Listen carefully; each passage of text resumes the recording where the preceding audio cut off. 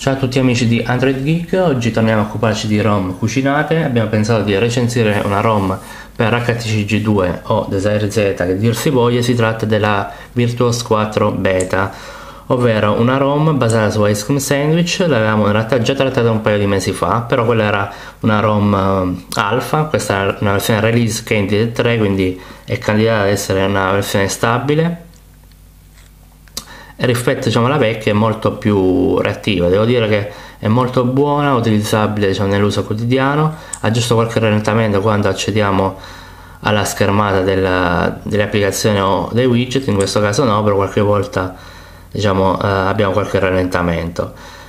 Eh, l'interazione è buona a mettere insieme un widget per personalizzare la nostra interfaccia vedete come non c'è nessun problema widget che sono ovviamente ridimensionabili troviamo un po' le tipiche impostazioni di ice cream sandwich quindi ad esempio um, possiamo ad esempio accedere alla, uh, schermata che ci mostra l'utilizzo dei dati. Vedete? Impostare dei limiti per quanto riguarda il consumo de dei dati. Il launcher non è um, quello originale di ice cream sandwich. Infatti Uh, ce ne accorgiamo subito ad esempio quando entriamo nella tendina delle notifiche e troviamo uh, la possibilità di attivare e disattivare delle funzioni di sistema con un singolo tap. Uh, vediamo proprio l'interfaccia che è praticamente questa il launcher che ci dà la possibilità di decidere il numero di schermate di effetti transizione e vari settaggi. Qualcosa anche a livello di drawer Inoltre ehm, abbiamo la possibilità di eh, overclockare il sistema, quindi il cellulare, lo smartphone, fino a 1920 MHz. Ovviamente è un po' difficile che poi il telefono risulti stabile. Io, per quanto mi ricordo, questo device riesce tranquillamente a tenere i 1536 MHz, a meno con le ROM Gingerbread.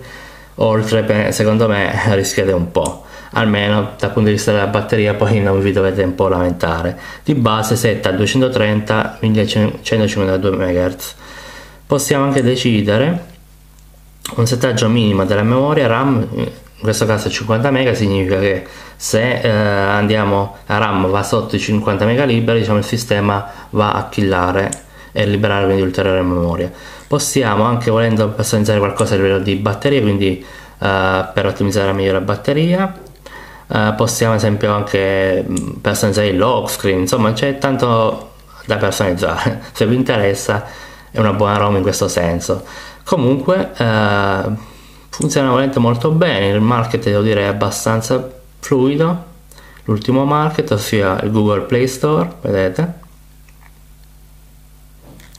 Per uh, accedere diciamo al menu di multitasking dobbiamo tenere premuto il tasto per qualche attimo quindi poi possiamo velocemente switchare tra un'applicazione un e l'altra in questa maniera.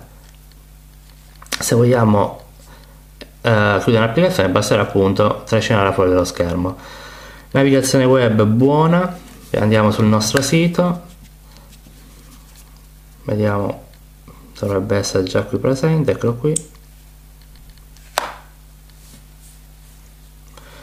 Uh, navigazione web che ovviamente mh, mm, gode del nuovo browser web che è però un pochino modificato. Infatti sono molte più voci. Possiamo ovviamente uh, attivare la modalità PC o meglio la visualizzazione PC e eh, ovviamente possiamo godere anche dell'accelerazione della GPU quindi dell'Adreno 205 che ci aiuta notevolmente per quanto riguarda l'esperienza web. In realtà vedete come è molto veloce pincio zoom è molto buono la rotazione anche. Adesso sta ancora un po' caricando però vedete come il tutto è molto buono. Uh, fotocamera. Fotocamera le foto le scatta.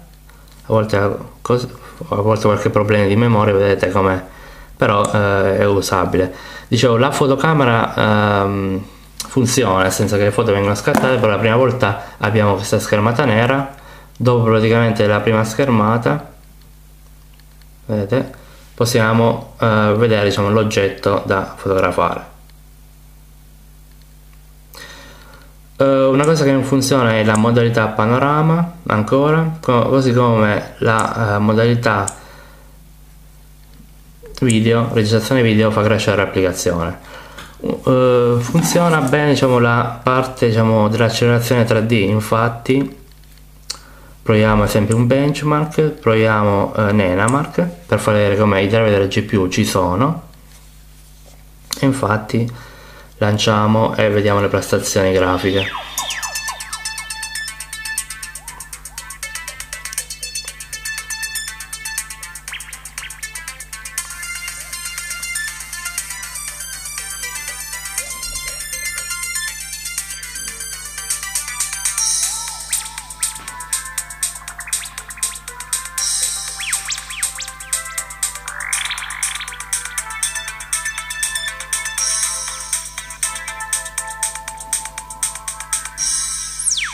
Vedete quindi le prestazioni della 3205 sono quelle 22 programmazione su Nena Mark II quindi eh, nessun problema nel caso vogliate un po' giocare ehm, ai giochi 3D eh, ha qualche problema soltanto quando esce eh, da un gioco 3D praticamente usciamo qualche volta presenta qualche artefatto grafico però basta riavviare tutto tornerà ok. Quindi una ROM molto buona, a mio avviso si può utilizzare nell'uso quotidiano, ovviamente c'è qualche limite, c'è ancora un po' da migliorare anche a livello di ottimizzazione di prestazioni, uh, nell'uso quotidiano, cioè di sistema, uh, però una buona ROM, quindi se voi avete un po' la curiosità di testare uh, sul vostro G2 o Desire Z um, Ice Cream Sandwich, questa Virtuos 4 release Candidate 3 è molto molto buona e io ve la consiglio.